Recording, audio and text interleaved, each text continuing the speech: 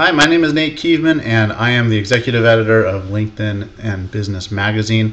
I wanted to share with you a quick tip today talking about LinkedIn profile optimization. What we're going to share with you today is five simple tips to optimizing your profile, to making it more effective, more powerful, and more compelling to a visitor that's coming to your page.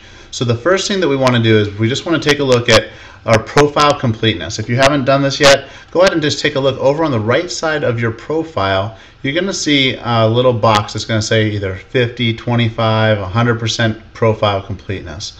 If it's not complete already, right below it is going to be some examples of what you can do to complete the profile. Just follow those steps and make sure that you do fill out all of those completely as you so choose. You can choose to selectively not finish your profile.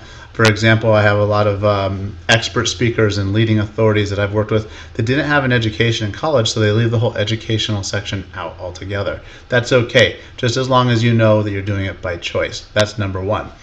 Number two, make sure that we change our profile URL to be our name or something close to it. So if you scroll down on your profile just a little bit, you'll see at the bottom of your uh, the main box here is public profile right here, if it if you haven't done this on your own, it's going to say PUB or public profile, and it's going to have a whole bunch of numbers. It's actually quite hard to find you that way. So an easier way to get found by the search engines is to put your first name in. So you would click the edit button.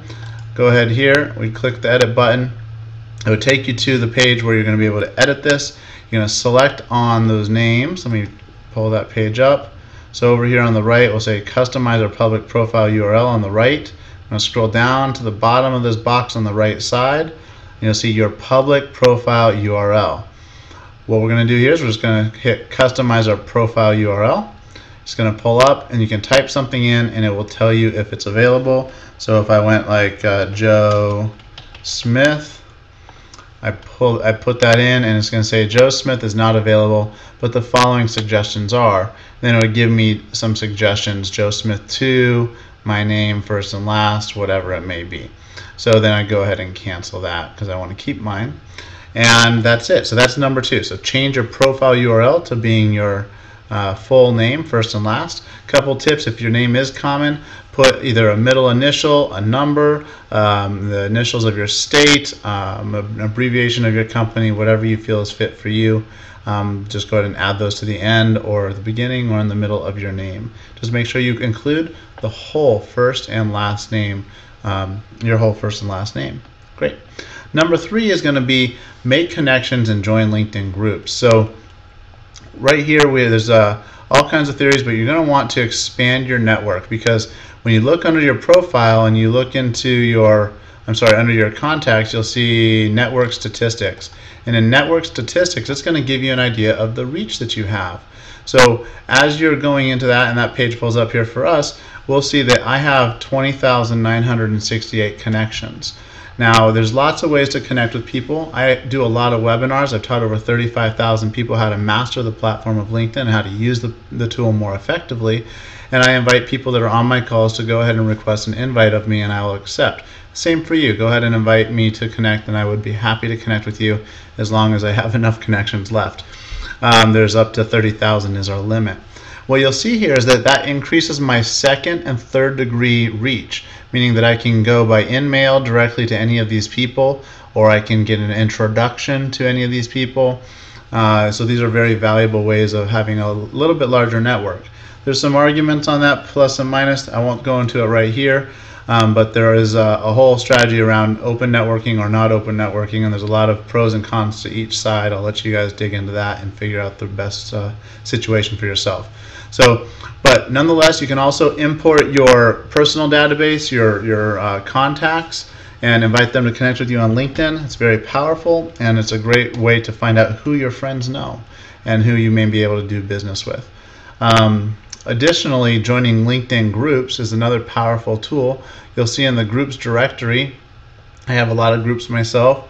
Um, I'm in about 50 groups. Uh, you'll see your groups here, and if I did, these are just some of my groups right here. You see that I'm highlighting up and down. These are ones that I, most of the ones which I own. Uh, I think I don't own the, I don't own the last one. Um, the reason for joining groups and the reason you want to do this is because it's going to increase your reach again to the network.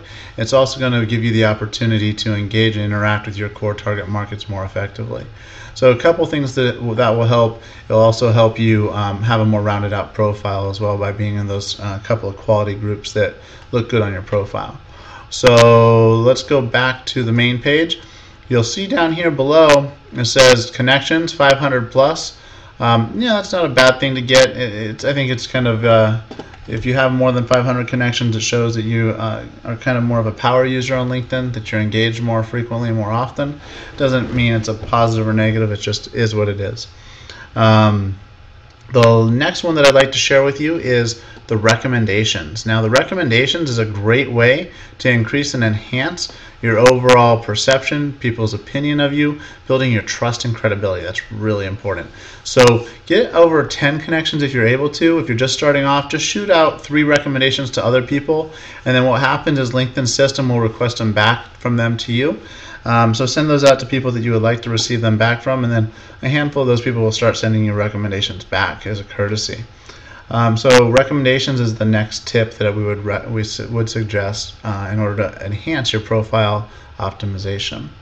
The fifth uh, piece is going to be your profile um, summary here. So let's see here. I'm looking at it now. So what we're going to do is make sure that our eyes are drawn to a specific area on our profile.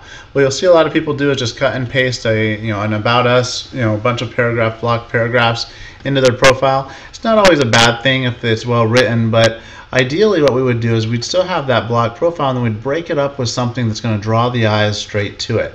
Something that's going to either enhance trust and credibility or that's going to tell somebody very specifically how they can engage and interact with you.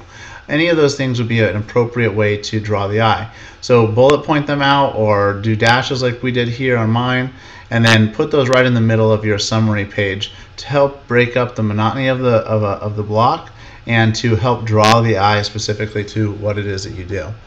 Um, so those are some of the tips for today. The last tip I would end with is optimize your professional headline. The professional headline is the little description of words that goes right underneath your name and next to your picture on LinkedIn's profile. And the reason this is so important is because it follows you everywhere you go on LinkedIn. Whether you're commenting, you're sending an email, you're interacting in some way in answers and questions forum, or somebody's looking you up on the who's viewed my profile, whatever it is, wherever you show up with a picture and a name, they highlight over that, this professional headline is what pops up. So it's really important. This is the way in which you're going to be able to take quick action and get somebody to click on you and take a further look into what it is that you do.